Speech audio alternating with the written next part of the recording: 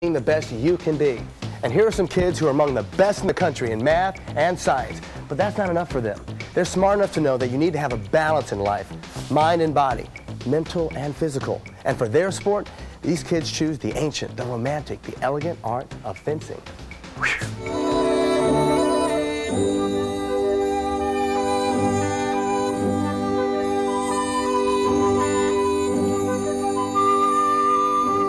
You get very excited when you're out there and nervous just before the match starts. You're just standing there waiting for, for the director, the main judge, to say begin. And then once you start going, the adrenaline starts flowing.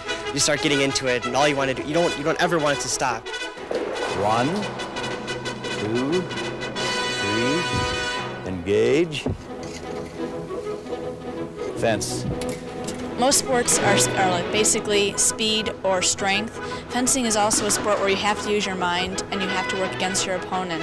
When I fence, what I usually think about is what I can do to get my opponent. I watch what he's doing, what kind of moves he's doing, what kind of defenses he's using, and I see what I can do to block his attacks and use them against him. You made two ripostes. You continued your attack, and then you returned the attack. What I wear when I fence, um, obviously I wear some shoes. Above that you wear a pair of knee socks, and then the pants that you wear are called knickers. Above that we wear what the men in our team wear half jackets because it only covers half your body. The females on our team wear full jackets, got the whole thing. Then we have our masks and then our leather gloves we wear on our right hand. Most fun thing about fencing is trying to see if I can outwit my opponent and see if I can find a way to get in there before they point me.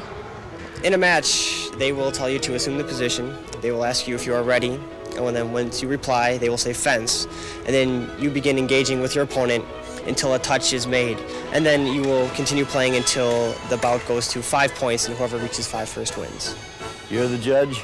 You're the judge. You know what you're judging?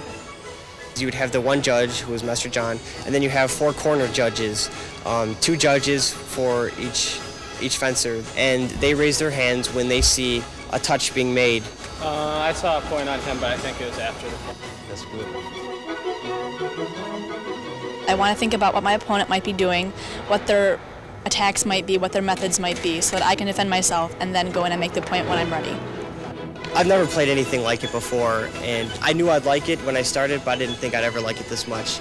There's nothing better than just being in a match and winning a bout and just, just beating your opponent. It involves so much, anyone can do it.